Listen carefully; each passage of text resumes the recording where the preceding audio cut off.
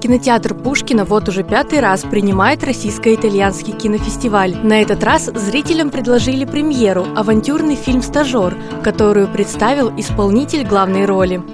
В наши дни профессия адвоката стала обычной, низкооплачиваемой и совершенно обесцененной. Только русские понимают эти тонкости, эти детали, эти оттенки значений. На самом деле это не я выбрал. Это только случай, что меня зовут чаще всего сниматься в комедиях.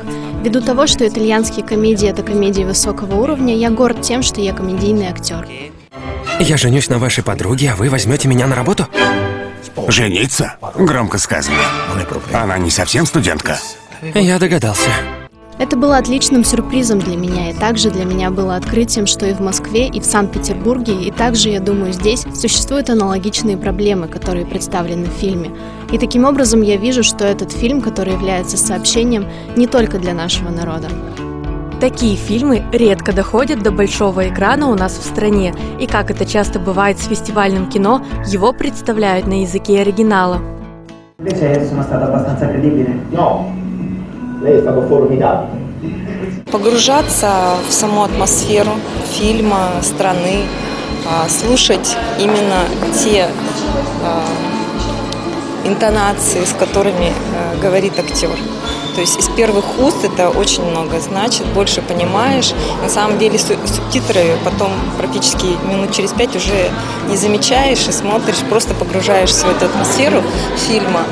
И мне кажется, это намного больше дает эмоций. В чем ценность читать книгу на оригинальном языке, а не в переводе? Хорошо, если переводчик был Пастернак.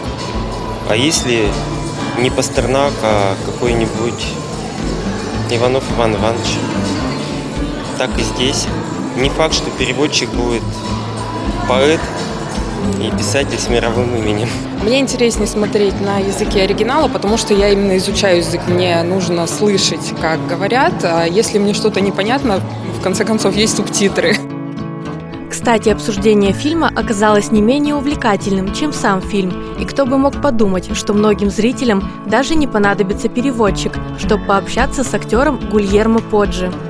В Италии у меня не было больших возможностей говорить с публикой, потому что итальянская публика не была настолько заинтересована в этом фильме, как я вижу публику российскую, в то время как э, в России я проводил по получасу, разговаривая всего лишь с одним человеком, и это для меня самое дорогое. Вот эта отдача, которую я получаю от публики. В этот день Италия царила в каждом уголке кинотеатра, начиная от завораживающей музыки и кухни, заканчивая бесконечными разговорами на итальянском поклонников этой страны и культуры.